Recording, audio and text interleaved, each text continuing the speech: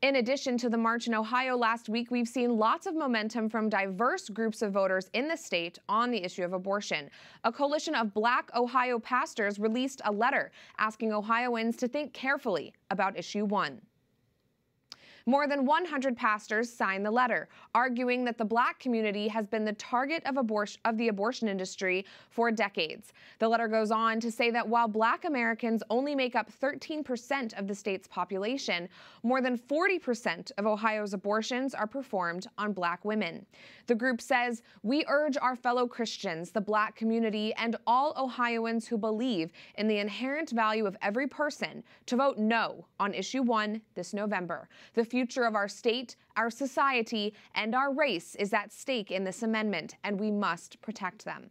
As they were praying that second joyful mystery, and the woman had seen the picture of Mary and Elizabeth and read the little story, she said, My baby kicked. And she started to cry. She knew that God was going to provide.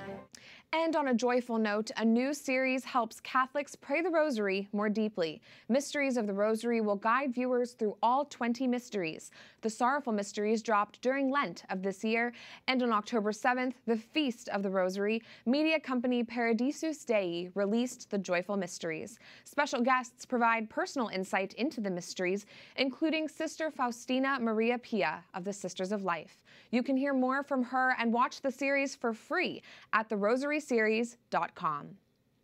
And on Friday, October 13th, the Church in the United States begins a special novena dedicated to praying for those vulnerable to abortion, euthanasia, and assisted suicide.